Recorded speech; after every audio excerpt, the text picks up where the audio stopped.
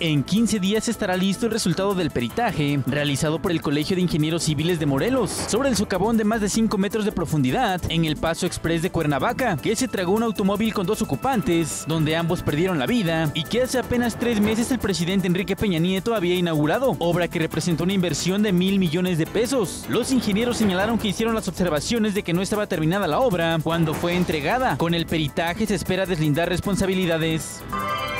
El titular de la Secretaría de Comunicaciones y Transportes, Gerardo Ruiz Esparza, anunció la destitución del delegado de la Secretaría en Morelos, José Luis Alarcón, y que se nombrará un nuevo equipo, debido a lo ocurrido en el Paso Express de Cuernavaca. También señaló que se presentará una denuncia penal ante la PGR contra quien resulte responsable por los daños de la obra. Además, serán auditorías a las empresas involucradas en la construcción de la autopista.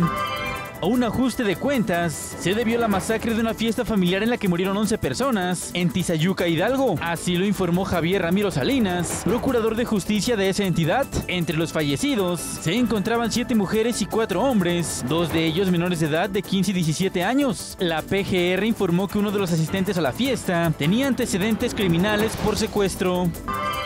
El Instituto Nacional Electoral instaló esta mañana un Consejo General para conocer las propuestas de resoluciones que en materia de fiscalización de las elecciones del 4 de junio del Estado de México, Nayarit, Veracruz y Coahuila presentó la Comisión de Fiscalización y que establece multas por poco más de 894 millones de pesos en contra de partidos políticos y candidatos. En el caso de Coahuila, el INE señaló que el gobernador electo del PRI rebasó el tope de gastos de campaña hasta por un 30% y el candidato del PAN, que quedó en segundo lugar, rebasó el tope por un 26%.